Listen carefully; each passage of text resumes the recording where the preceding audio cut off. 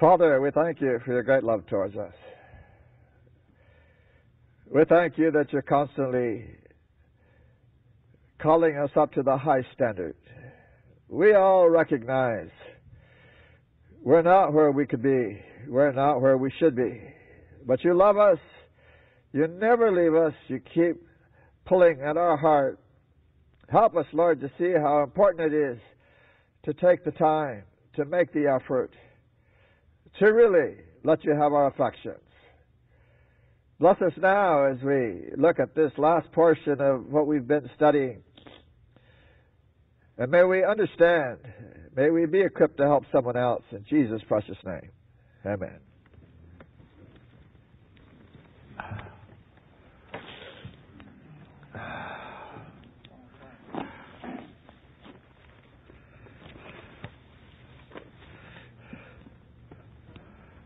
I don't know if you remember how we started. It's been a while now. you remember we started talking about the fall. What happened in the fall? Man was cut off from the main computer. And so man was adrift, not hooked up anymore. And we centered on just three elements his intelligence, his emotions, and his will. Okay. Could you go back there? Remember some of that now? now, his intelligence, you remember, since it wasn't hooked up to God anymore, the only thing he could know was right in front of him. He became a materialist. And then his emotions didn't go away. He still had his emotions. But now, since he doesn't have God to those emotions to, he's got to find something else. And everything he finds to attach his emotions to wounds him. See? And so he's got bad intelligence, worse emotions, and he's got to use those now to decide things, his will. and with bad intelligence and a messed up emotion, what kind of decisions you're going to make? See? And he's got to be a master of something. His will says, I want to be a master of something. He can't even be a master of himself. But he wants to be the master of something. So he starts his emotions, he tears them all up, and he decides, I'm going to be the master of something. he takes it out on his wife. Yeah. He kicks his dog. if he's a boss, oh, he's a boss. yeah, see? So this whole world's gone haywire because of all that. There's a real reason for all the messes. We've been cut off from God. So now, having been reminded, the calamity was great. And God had a problem.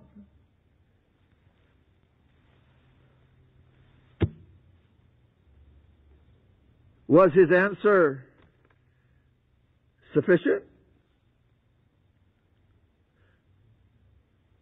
Was his answer perfect?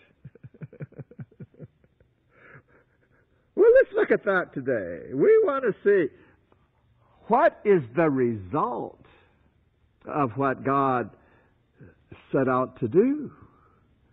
What are the results?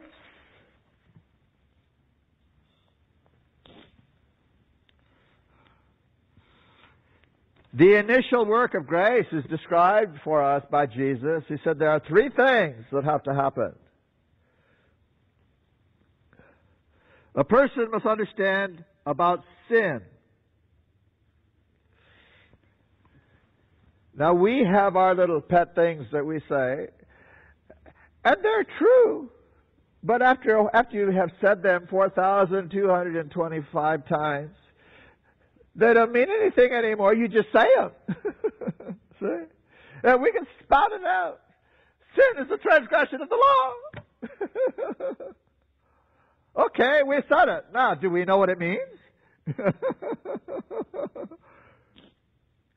what law? The Word of God. Well, that's a mighty big law, isn't it? It goes from Genesis to Revelation 22. That's what sin is. Oh, I thought it was just Ten Commandments. well, Ten Commandments is enough, don't you think? How many of us are doing those perfectly? Every day, all the time. and there's a whole Bible to look at. so sin, the Spirit of God has to show us what sin is. Sin is the rejection of God. Yeah. And it doesn't matter how small you go, it's still a rejection. See?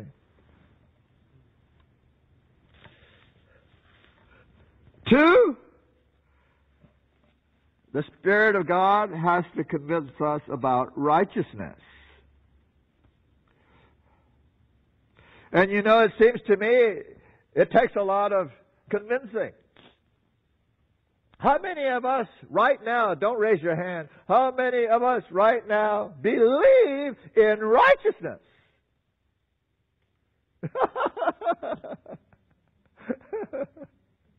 now, I did not say righteousness by faith. That's something else. That is not righteousness. I'm sorry. That's disobedience by faith. Because I have faith, I can disobey. I'm going to get covered. I said that to 125 people Thursday night. And I think I confused a lot of people. Yeah. But they need to be confused. You know that? We all need to be confused so we start thinking about things.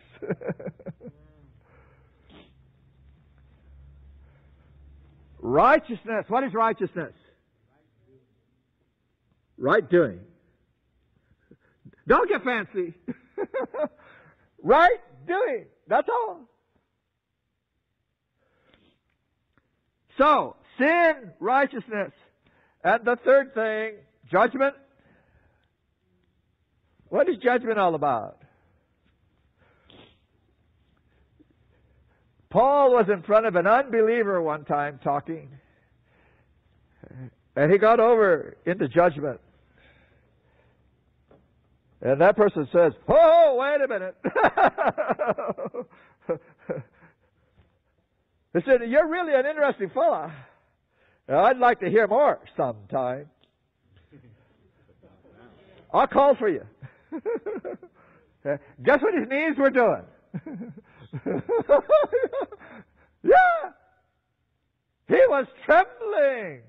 Uh, ask yourself, when's the last time I trembled when I thought about judgment?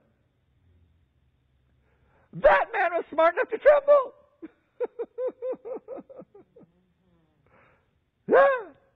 He understood something. I think the Spirit of God got to him and told him what judgment is. That's kind of serious. That's what it is. There's something about a penalty we tend to forget about. Penalty is for rebellion.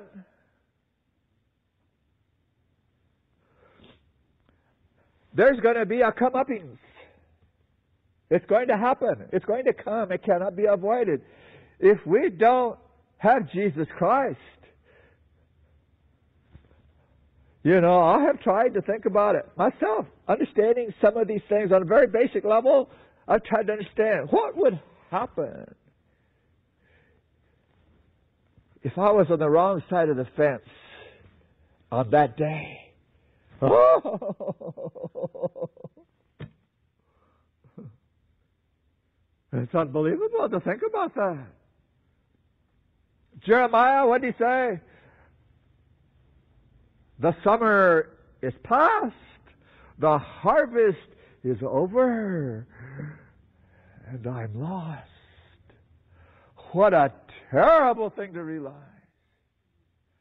So those three things have to happen. God has to make us aware of what sin really is, of what righteousness is, and what judgment means.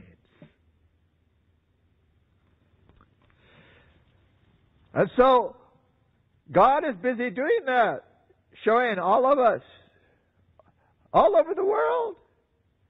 And when a person understands, now what?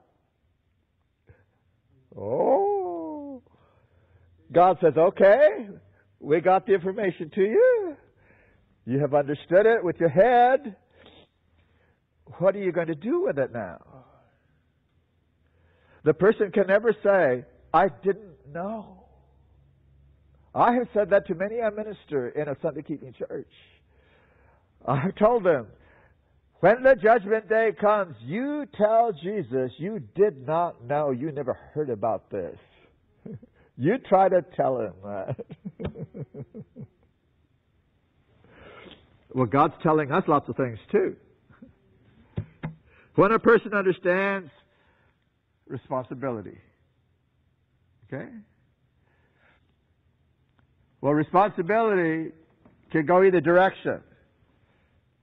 Refuse what God is sharing. Say, no, the price is too high. Or accept it, receive it by faith, believe, trust, you see, faith without trust is no good. You've all seen that scripture. The devils believe. and they, yeah, they tremble too, don't they? The devils believe, but it's not doing them any good. Because they don't trust God to do what He said. They can't. They're sealed the other direction now. So when a person becomes a Christian, they are now in partnership. And that brings us up to date now. What he did, those seven steps. Let's get to the results now. Let's get to the results.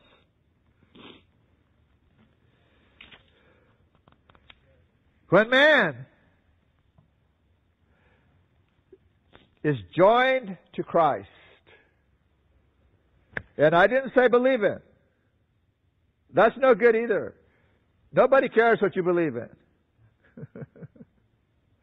you know that God is never going to judge your faith? Yeah. There shouldn't be a Seventh day Adventist in the world that believes they're going to be judged by their faith because the Bible doesn't teach it.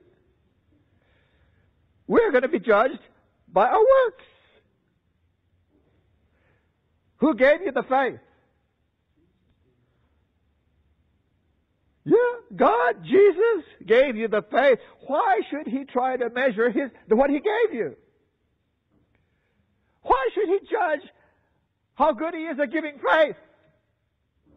That doesn't make any sense. But he wants to see what's, what happened with the faith he gave you. He wants to see what you did with it. He's not going to do that part. He says, I give you the faith, I give you the strength, I give you the spirit, I give you everything to work with. Now do something. I was talking to a high powered evangelist, and if I said his name, you'd all know it.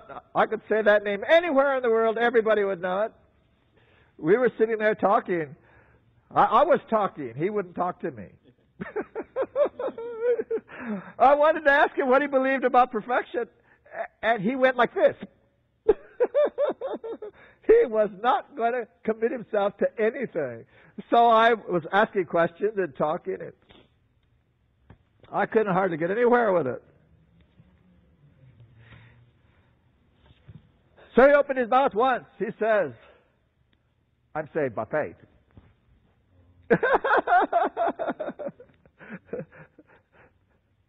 and I looked at him I said, Are you telling me your religion says Jesus does everything? Yep. I said, I think I want to follow you around for a while. Did Jesus get out of bed for you this morning? Did Jesus eat breakfast for you this morning? Did Jesus? And he's sitting there starting to get frustrated with me. I said, come on, don't tell me Jesus does everything. If you don't eat, you're going to starve to death. It's simple. Jesus is not going to eat for you. and there's lots of things he's not going to do for you. We didn't part on very good terms, I'm sorry to say. I really felt sorry for him, this giant of a man in Seventh day Adventist circles.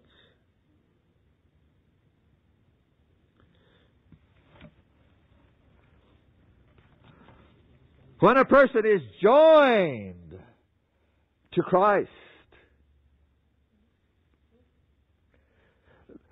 that's not believing it. Joined, joined, connected. That's the word Ellen White uses over and over again. Connected. Connected.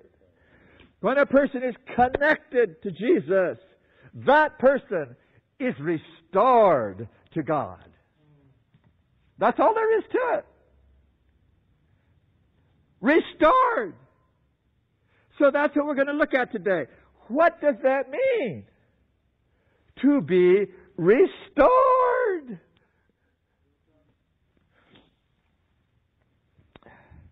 Well, we all know the beginnings.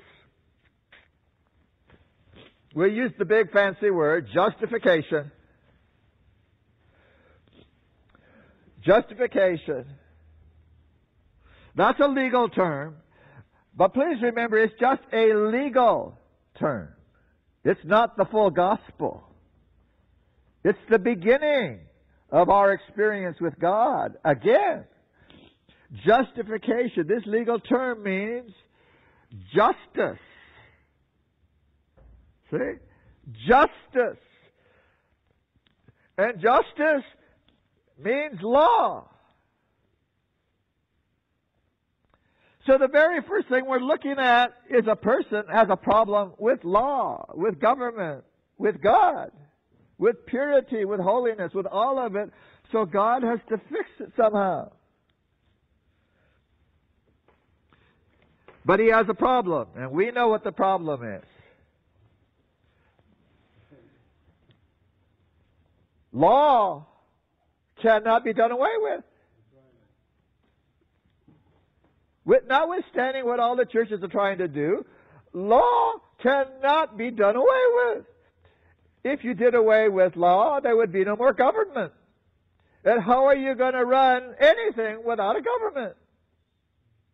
So the law cannot be done away with. And so God, in His nature, says the law is eternal because I am eternal and the law is a transcript of my character. So the law is. Well, man has transgressed the law, and the law says the penalty for transgression is death, annihilation, oblivion, non existence. I asked somebody just this week, what is death? And they said, separation from God. separation from God. Well, tell me, how far? And now their brains are rattling over again. Come on, don't bother me with thinking. How long? How hot? Oh.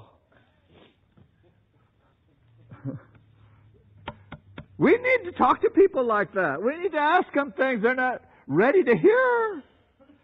And make them wonder, yeah, how come? I said, you know, that, that answer is part right. Separation from God. You know, when you're dead, you are really separated. That's true. you're good and separated. But that's what happens when you're dead. That doesn't tell you what death is. That's just what happens. Well, I'm not going to go through that whole thing. this meeting starts at 3. These people came from Colorado. They have an excuse. I'm sorry you missed introduction. You may not understand the rest of it now. Uh, so anyhow, God has this problem of maintaining the law and somehow getting the humans back. Now, of course, we're sitting on this side of things, we say, well, I know the answer. But maybe we don't appreciate it enough. He's got to justify a transgressor. Now, it has to be a major problem because even the devil couldn't figure out a solution to that one. He figured he had God. Yeah, if, if he saves that man, he's got to save me too. That's what he was after. so, what is God's solution? Well, we know the solution. We're not covering the solution. We're trying to get to the results. What happens as a result of the plan of redemption? That's what we, it takes me a while to get to things. Well, we know the sin had to be canceled somehow. Well, there's only one way to get rid of sin, and that's death. And the death that we have been talking about all these weeks is one of infinite worth. It takes an infinite value to take care of one sin. So we can't begin to imagine what it takes to care, take care of the whole sin problem. But God has an infinity to work with, and He created an infinite value in the death of Jesus. A perfect, perfect value of life and death. So now, let's begin moving towards our subject today. I think most of us are here now, so we can zero in. Romans, the third chapter. You all know this verse.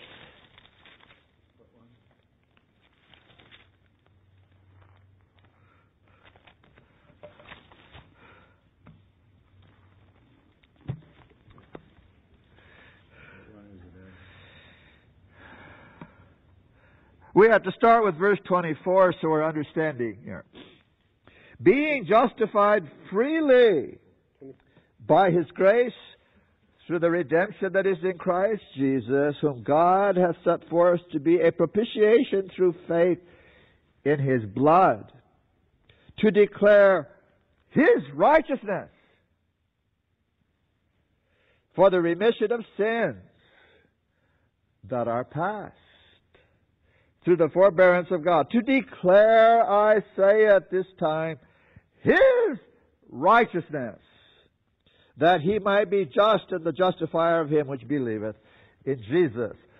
So there is the only solution there will ever be in the plan of salvation. Jesus has paid every penalty that can be imagined, anything that could ever come up, and God says it's all taken care of now. I can justify you based on what Jesus has done. End of story.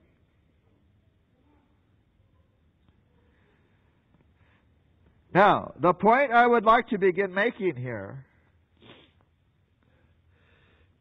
is that Jesus imputes this life to us.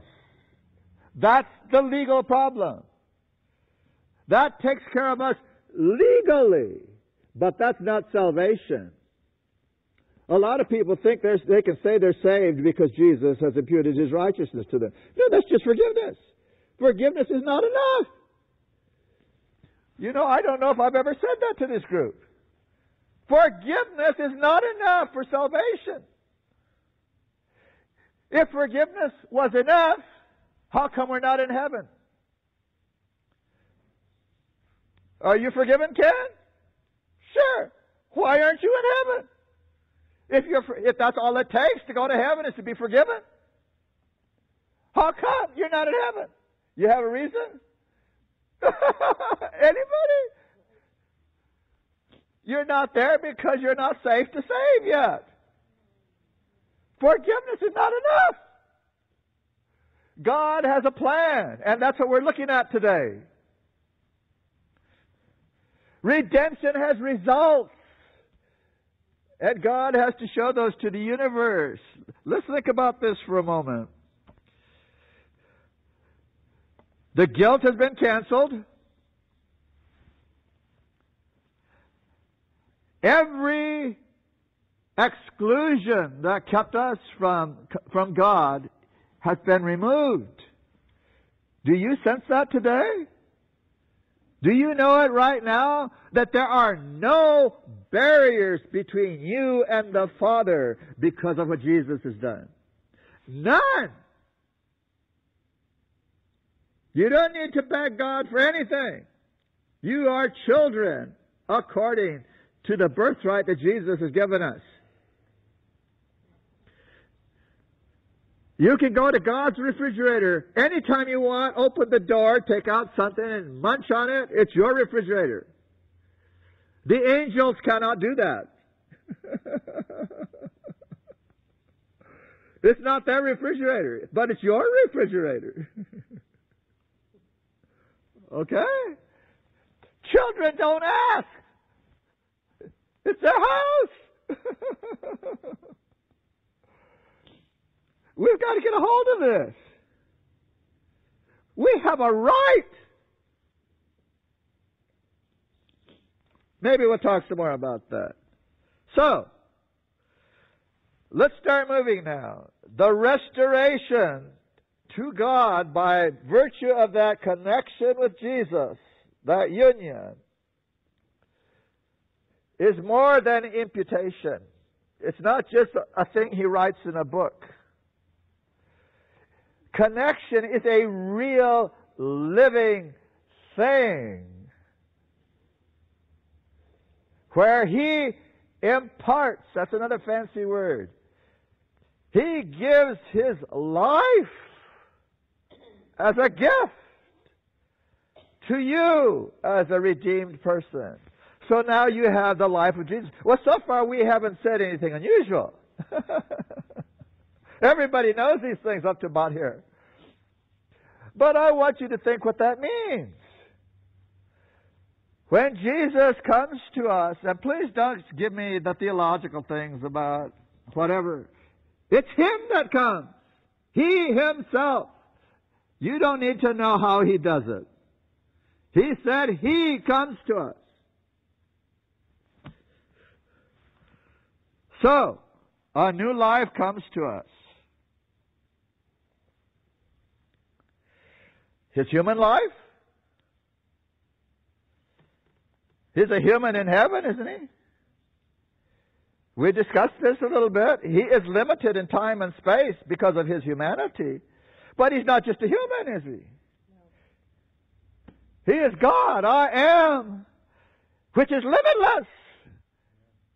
God can be any place He wants, anytime He wants. The fact that He has a human form is no limitation to God. You cannot separate out the human and the Godhead and say there's two people. There's only one person. Human, divine, one person. So, when Jesus imparts His life to you, What are you getting? You're getting the human life, and He is giving you His divine life. You are being joined in redemption to God Himself. That's why nobody cares what you believe. That means nothing. We want to know what's happening for real.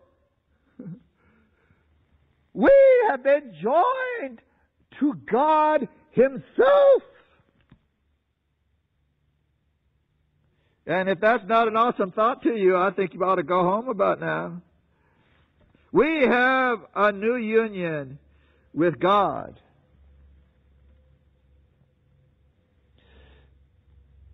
And it's more than Adam would have had if he had never sinned. Yeah, we'll talk about that some more.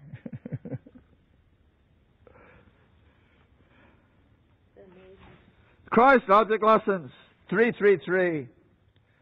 You all know this quote. We're losing people already. 333. As the will of man cooperates with the will of God, it becomes omnipotent.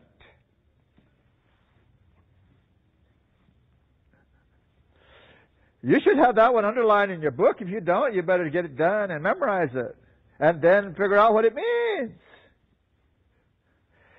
Little old me as the will of man cooperates with the will of God, it becomes omnipotent. Who, me? No! You with God! He's bringing the omnipotence. but He never leaves it out. He never leaves it out. What Jesus is, He has brought to me. He brought me His life.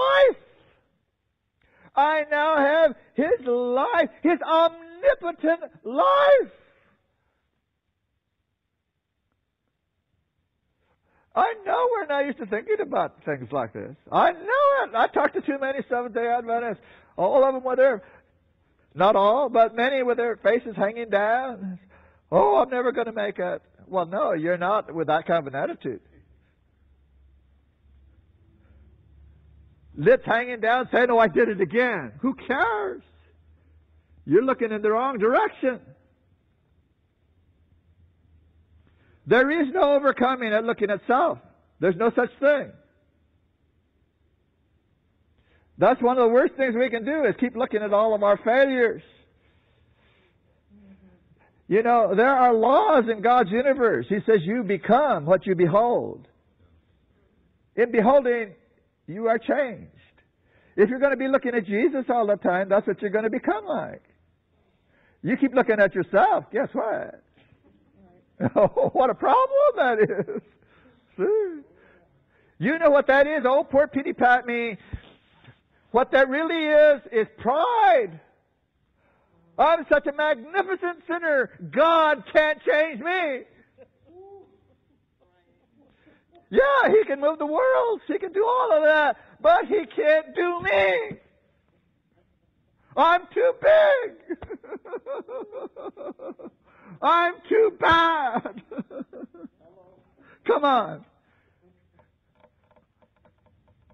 We need to get off of that stuff.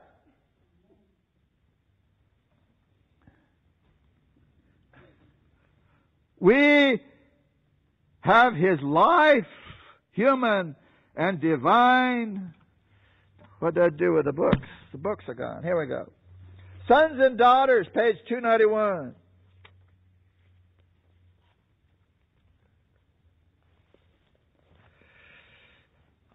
I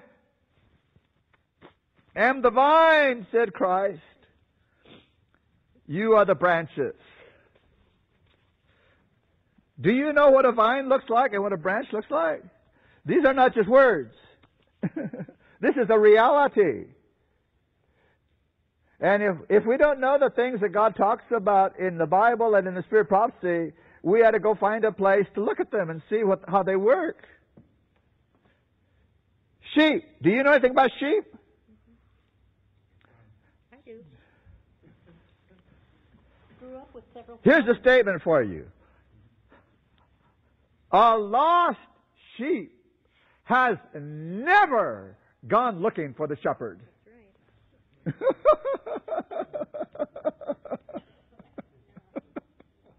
Do you know that?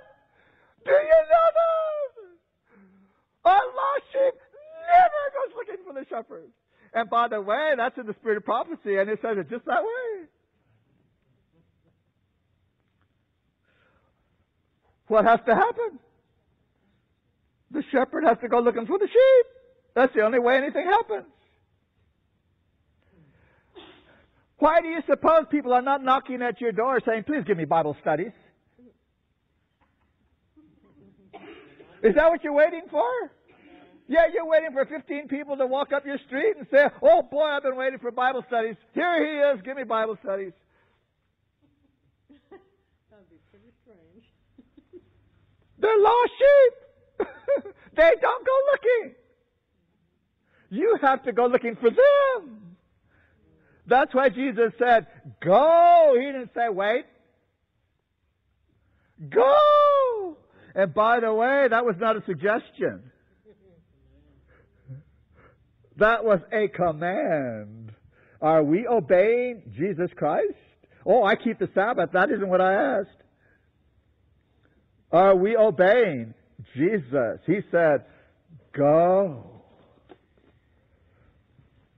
You work that one out. Page 291. I am the vine, said Christ. You are the branches. The closest possible connection is here represented. Engraft the leafless twig upon the flourishing vine stalk, it becomes a living branch, drawing sap and nourishment from the vine. Fiber by fiber. Are you getting that picture? Fiber by fiber. Vein by vein. The sapling clings until it buds and blossoms and bears fruit.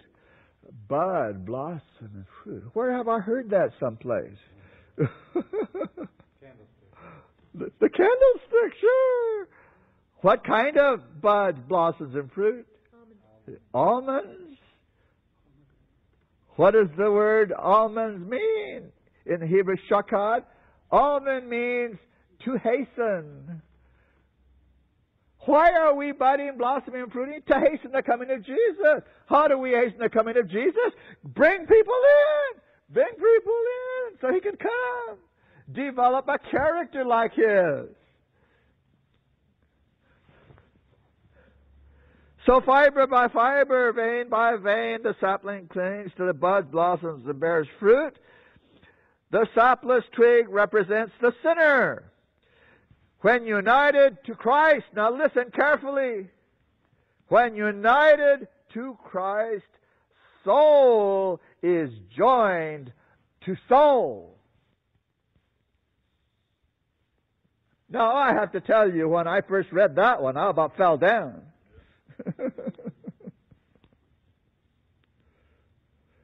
what? The soul of Jesus is joined to my soul. There's nothing in that statement about believing anything. There's nothing in that statement about faith. There's nothing in that statement about what church you belong to. There's nothing in that statement about going to church on Sabbath or eating peanut butter.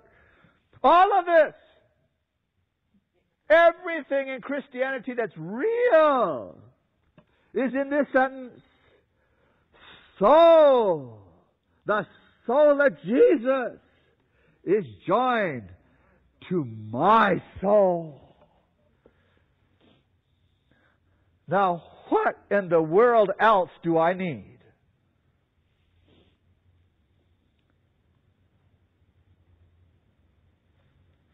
You see, we keep playing tiddlywinks instead of getting to the real thing.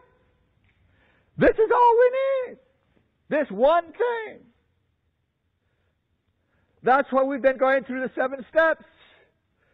Is to get us to understand what did he do that for? Well, here it is. We're starting to touch it now. Soul is joined to soul, the feeble, the finite, to the holy and infinite. And man becomes one with Christ.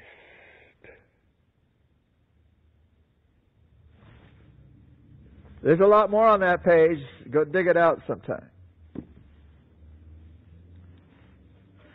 Man becomes one with Christ. Philippians 4:13.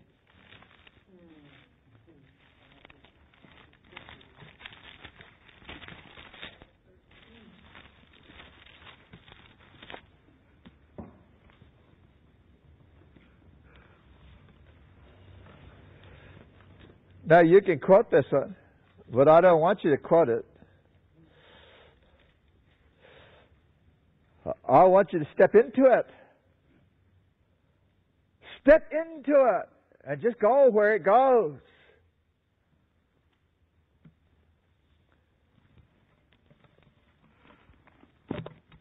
I can do all things. there it is. I can do all things through Christ, which strengthens me. Come on, go home today and say it. Go stand in the middle of your front room and say it. I can do all things through Christ. and mean it. Say it. Mean it. And know the devil heard you. yeah. And the devil's going to start shaking. You know that? So, uh-oh, somebody's getting this. I can do all things through Jesus. Why? Because he's in me now. Not just the human Jesus, but God himself, Jesus, is in me.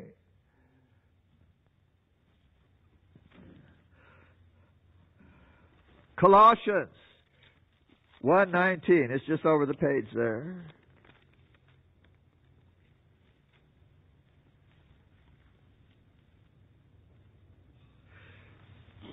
It pleased the Father that in him should all fullness dwell. All fullness? What does that mean when you say God has all fullness?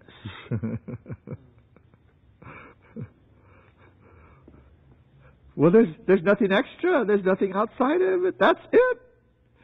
All fullness is in Jesus. There's nothing more. Chapter 2, verse 9.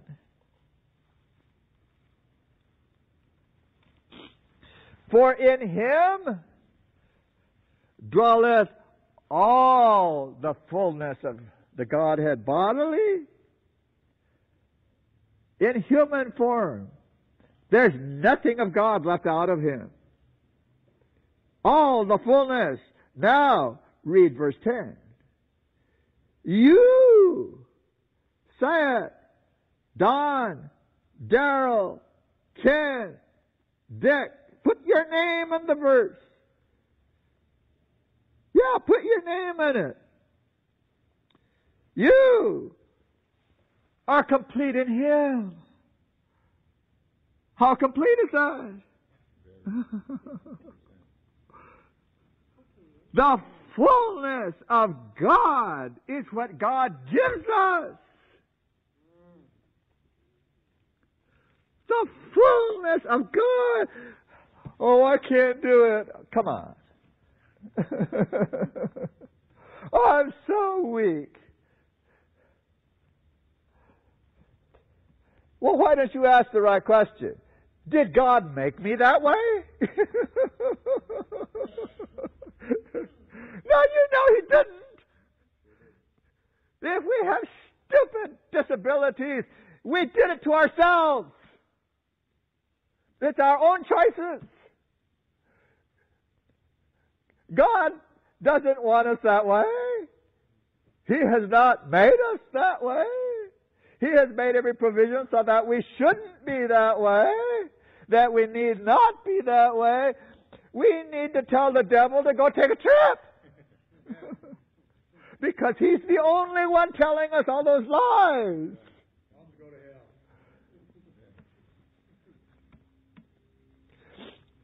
Now, I'm not going to camp on you because I have the same problems you do, okay? I'm a human. I understand. I'm fighting the same battles. But I want to tell you something. I'm starting to learn some things. You get on the devil's ground and he's going to get you. He's going to do it because the habits are a strong thing. The trick is to start getting off of his ground. Get off of it. You don't need it. God's not telling you to do something strange and terrible to tempt yourself? He's never told you to do that. If there's a certain kind of book you're looking at that's not good for you, get rid of it. What's the big deal? You're going to hang on to a book and say, I, I can't go to heaven because I'm too weak. Well, you won't be so weak when you get rid of that book. Yeah. Now, you can't earn your way to heaven. You can't do that. We just went through justification. But you can sure do something to get yourself out of heaven. Yes. Your works can get you out of heaven real easy. You have to decide whose side you're on in all of this.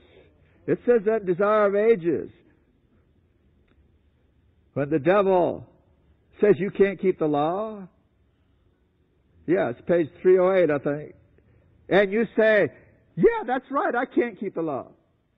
She said, you're just seconding the devil. Whose side are you on?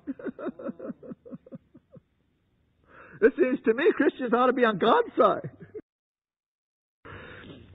All right, you are complete in Him. So what has happened here?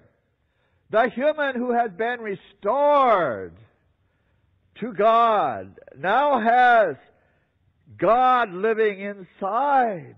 Not just a human. Jesus, God, I am living inside. So what we have here, are you ready?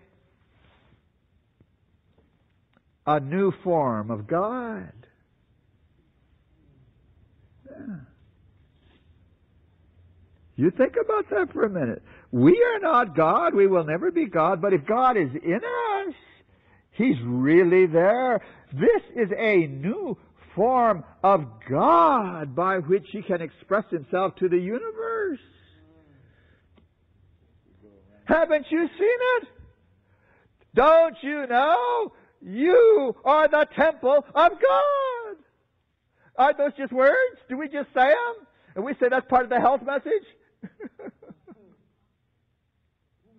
Come on!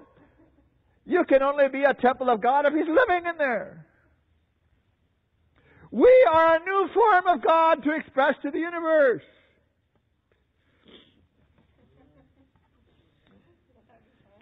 Maybe we need to look at that a little bit. Christ is the head, right? What are we supposed to be?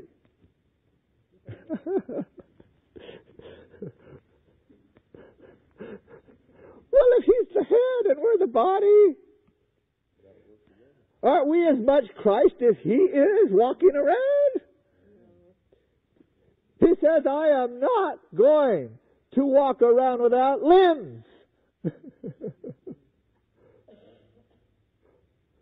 is the new manifestation of God in the universe. Jesus, the head, and his body connected. this is not a metaphor. This is a reality.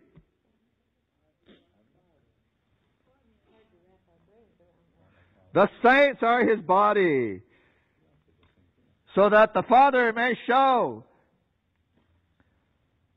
the new form of God, Jesus, and all his people to all the universe forever.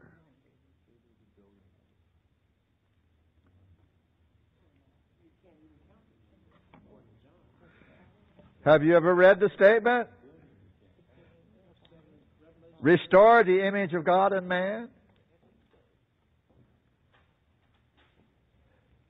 Maybe we read that too carefully. We say, restore the image, the shadow of God in man. I'm just a shadow. No, no, no, no. We're missing it. We have God living in us. We're not just a shadow. To restore the image of God in man means the likeness. I walk like God now. When all of this comes to fruition, when the harvest comes, you see, part of the problem is Seventh day Adventists learning these things think it's got to be today at, at 3 o'clock. You're not going to be the likeness of God at 3 o'clock. I'm sorry. It's not going to happen until He finishes the plan of redemption, that He completes it, He perfects it, and you are what He claimed you were. We have some growing to do. We have some learning to do. We have a lot of struggling to do. But we've got to believe these things or we're not going anywhere. That's where we're headed. They will follow him wheresoever he goes. They can't do anything else. Where he goes, they go.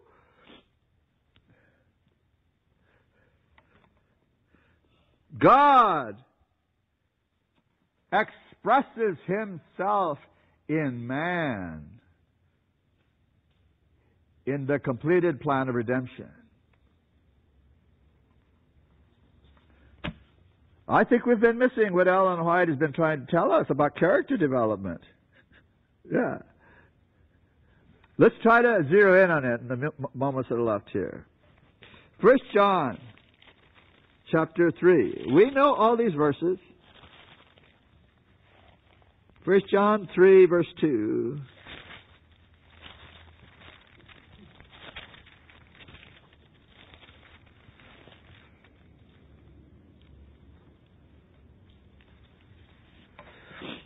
Beloved,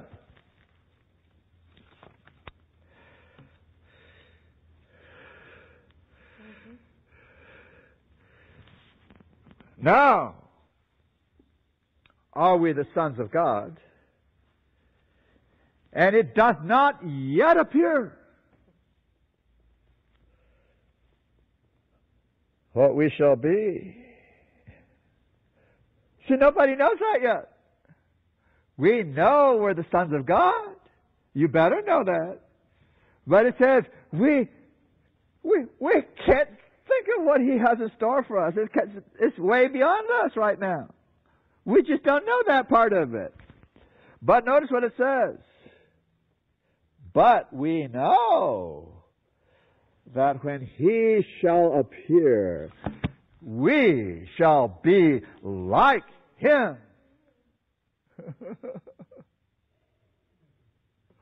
now, is that true or isn't it?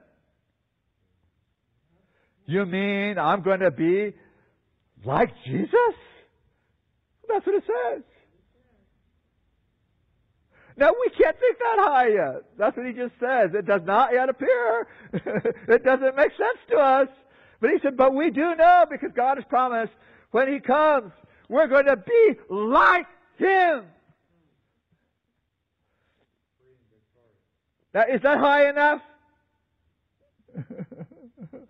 yeah. Do you believe it? Oh, not me. Come on. The smallest little child that knows so little is going to be there that believes and trusts. And you know, it's easier for them than some of us. Mm-hmm. Yeah. There was a little girl in the old days when they didn't have telephones and all that stuff. Old fashioned boats. Her father would leave for months. She hardly got to know him. But every now and then he'd come home. But she was still little. He came home. And after the hugs and all that, he says, I have something for you. she said, Oh, oh, Daddy, what do you have? I have an orange for you from a very exotic place. I have an orange for you. And she jumped up. She went running around the house. I have an orange. I have an orange. I have an orange. He hadn't even shown it to her yet.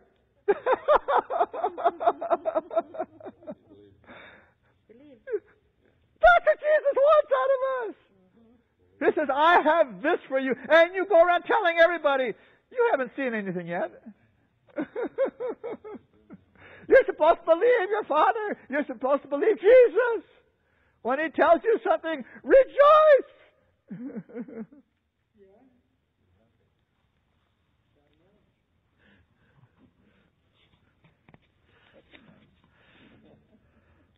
we know. All right, we've covered this part of it. Conduct is always an expression of character. Every now and then people come to me and ask me about their character. They say, How can I know I'm developing a proper character? How do I know I really believe? I just tell them something very simple. I tell them, well, just look at what you're doing. That's who you are. it's simple, isn't it? Because what you do is what you believe. If you believe in righteousness, you will do righteousness. If you believe in sin, you will do sin. It all depends on what you believe in. So when we receive Jesus, we have the imparted life. We have the new nature. We have God Himself. And now we're learning to cooperate. Not to be saved, please. People get over there, that's what they think they're doing. I'm cooperating so I can endure and be saved. No! What we're starting to learn is that we are cooperating with infinite energies. Can you get your, your brain around that a little bit? We're learning to cooperate with infinite energies that cannot fail. Oh, I'm, I'm tempted to start quoting Spirit of Prophecy statements where she says all these things.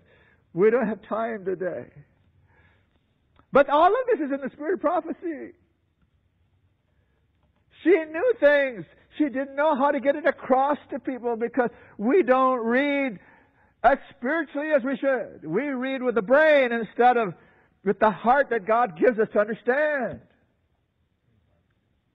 We need to slow down. All right, the intelligence now has new understanding. And the infinite is now seen again. I see what God sees. I'm connected. Yeah.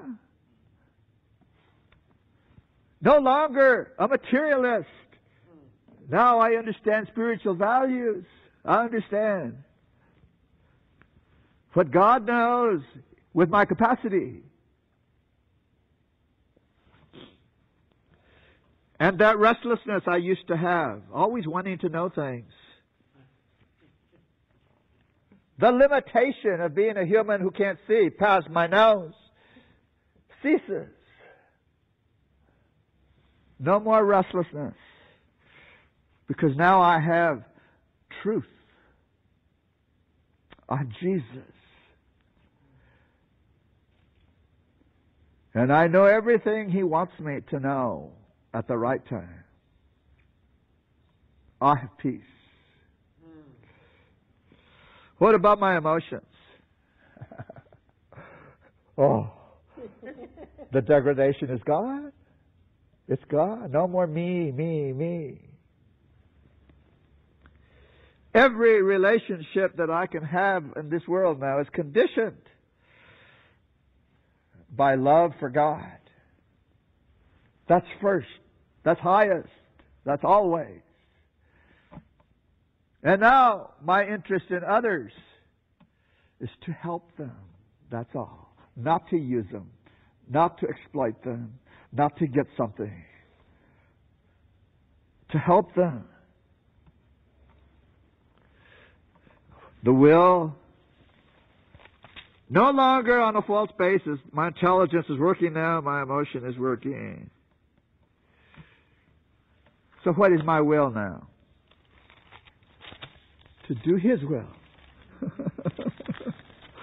to do His will. That's my joy. That's my pleasure.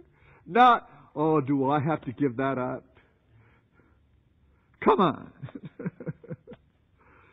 I'm going to miss heaven for a piece of cheese.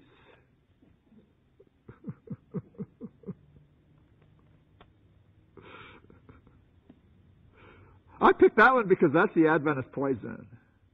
Yeah, we think we're okay with cheese. No, cigarettes and cheese is the same thing. Yeah. Sorry.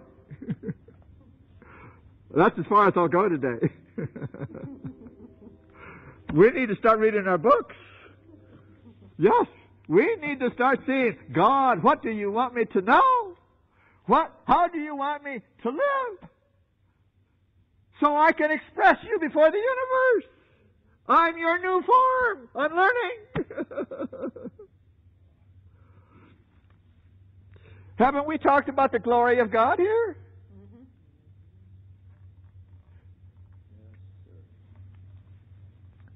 Every moral action has the glory of God as its end.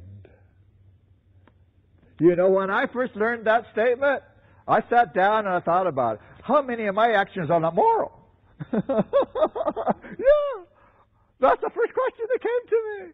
If every moral action has the glory of God as its end, how many of those am I doing?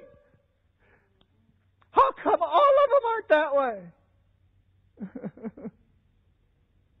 We're trying to live in two different worlds, unfortunately. We have been taught to do that by well meaning people. It's called righteousness by faith. I'm sorry. No. That's going to drag you down. You better start being righteous.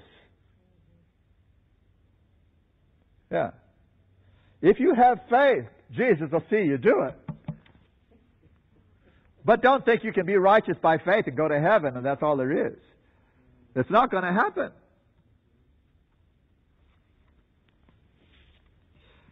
Philippians 4 8.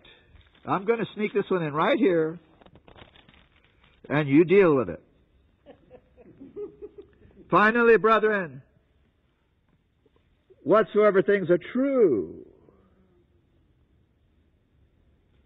whatsoever things are honest, whatsoever things are just, whatsoever things are pure,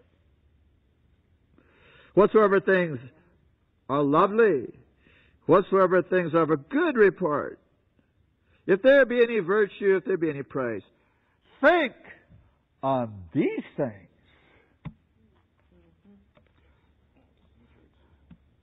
I think it might be well for us to type it or write it down or something on a little piece of paper. And as we wander around through our day, when we settle down to do something, pull it out and say, Does what I'm about to do meet all of this? I have an idea that if that's sitting there and we're looking at it and we know God knows we're looking at it, we might not turn that page.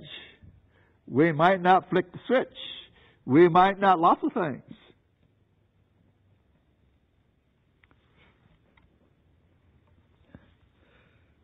Man like God. Think of it. Man like God.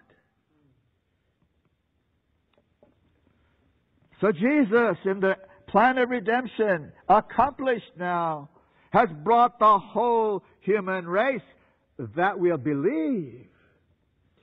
Each one contributing to the outshining of the fullness of deity. God is using every individual Christian as a means to show who He is.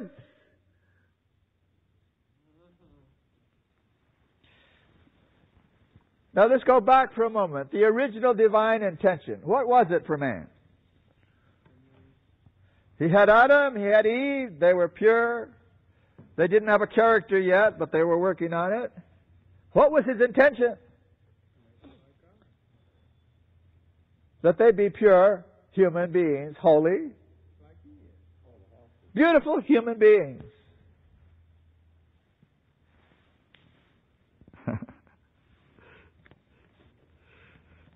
That's the first man. Man was to be the image of God, but in a very limited sense.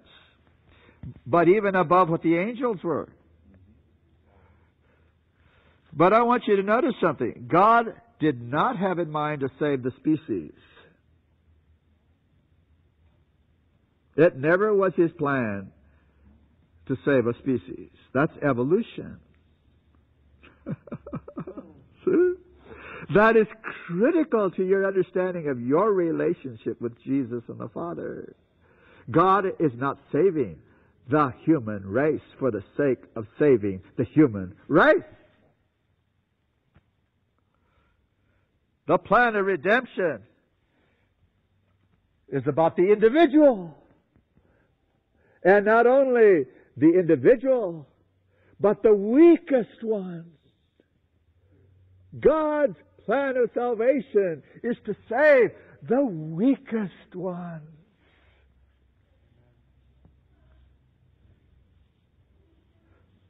Now, I don't think we have any of those in here today, but if there were, we're covered, see? We're covered. The weakest ones. That's our responsibility as Christians. To be looking for the weakest ones to help them. Because this world keeps smashing them down. What? You only make a hundred dollars a month and you can barely eat. You can't survive. You don't have any medicines. Nobody will help you. You're getting too much. We're going to cut your appropriation down 50%. You know that's happening right now. It's our job as Christians to say, no, you're not going down. We can do something to help. We can get several people to help. We can do lots of things here. You're not going to go down. God doesn't want the weak ones going down. The individual. Have you figured out yet why all societies have failed?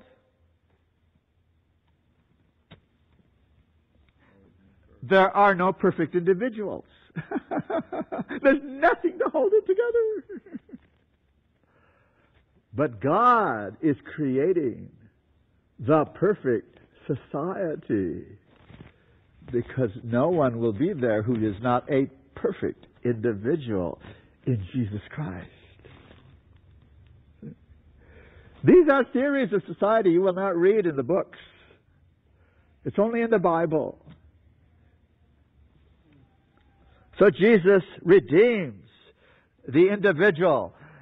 And the real individuals in Jesus form the society called the church. There is a solidarity now of individuals. But the terrible thing is that people who have big churches say, we're the church and you join us. No. Right. No. I'm the church. That's an organization. Forget that. Right. That organization's not going to go to heaven. I'm sorry. I told that to one of our ministers recently, and he got a little bit excited. He said, he said, oh, you're walking a fine line. I said, no, I'm not. It's clear to me. the organization's not going through. He says, where did you find that?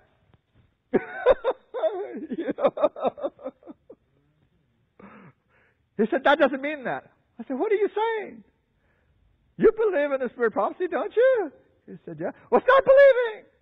That's what it says. You know, we play games.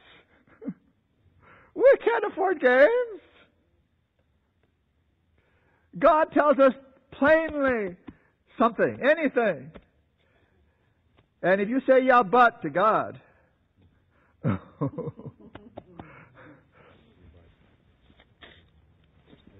don't do it. The church, not the system, not the organization. One life. Thank God for that. One life. One light. One, one obedience. One love. Each individual perfectly answering the divine ideal. Revealing who God is. Yeah. That's who we are revealing who God is. So the ultimate victory of redemption. Christ is completed. He's not complete without us. He is completed in a whole race united as his body, becoming his medium of expression to the universe. That's who we are. That's why we can't do without each other. We're brothers and sisters. We are membranes of the body. you cannot love Jesus and not love the brethren. You can't do it. So when people go around arguing with each other and being critics and tearing things up and saying, oh, they're Babylon, or oh, the leaders do this, or oh, those people are really making a lot of confessions. Yeah. And I don't think they're going to be too proud to have everybody understand what that means one of these days. 1 Corinthians 12, verse 12. Let's finish.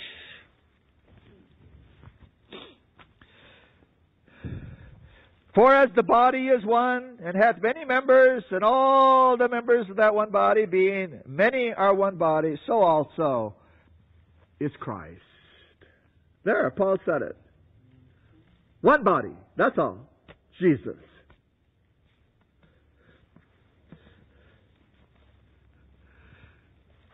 Ephesians 4:13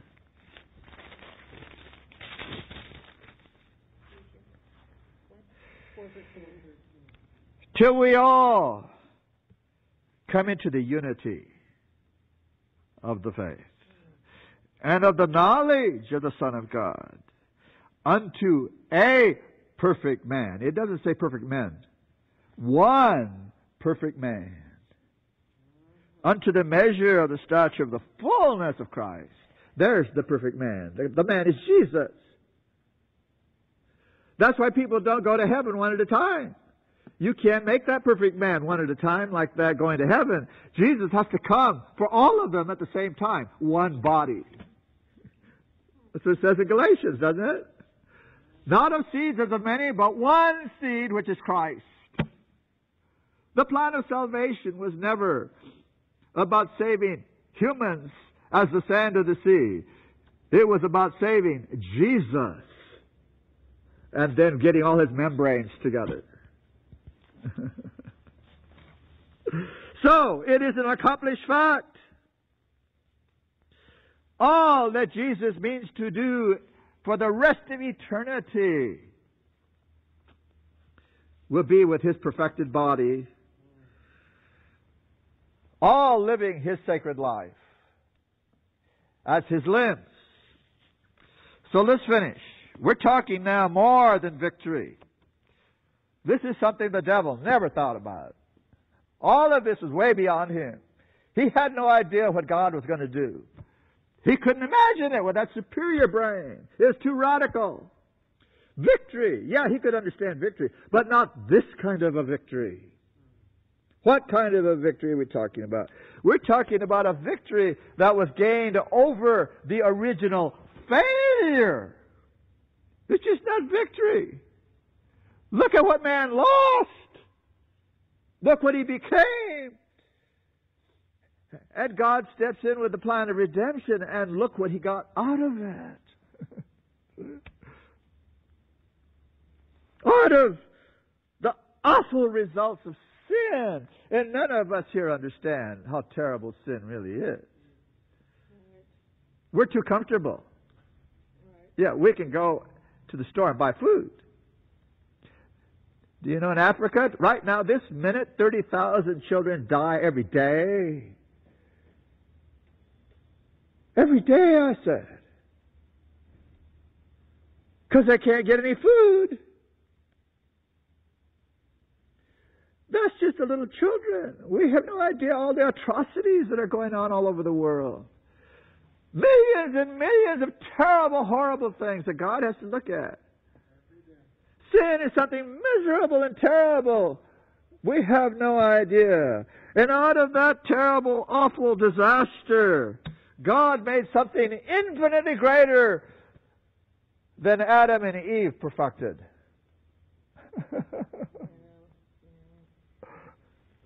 Out of the dead, he made a new creation. A new creation. We see the wonders of grace.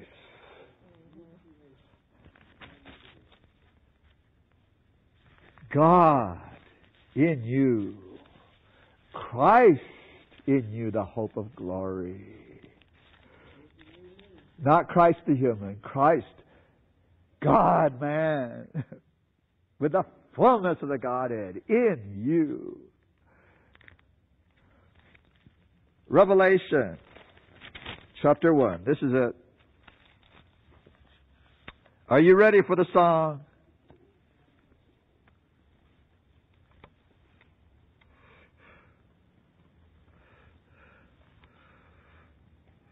Jesus Christ, who is the faithful witness and the first begotten of the dead, the prince of the kings of the earth, unto him that loved us and washed us from our sins in his own blood, and hath made us kings and priests unto God and his Father. To him be glory and dominion forever and ever. Amen. We're going to sing that song.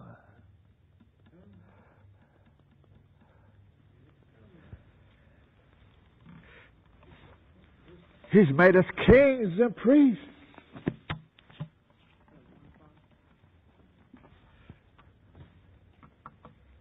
Let's start doing it now. Yeah. Anybody we run across, I'm a child of the king. You don't need to say it. You just think it right in front of them. I'm a child of the king. I have some news for you. yeah. Jesus is coming. Let's start listening. He's coming. I know some have been here 50, 60 years saying, oh, yeah, I heard that before. Come on now. Is it closer right now than it was when you first heard it? yeah. Well, get with the program. It's closer now. Let's pray.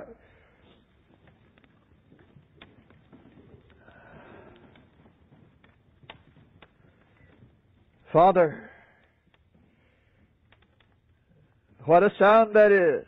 Father, not make believe, not hope, not pretend, not anything but reality. Father, you made us, you redeemed us. We're at this side of the cross. Help us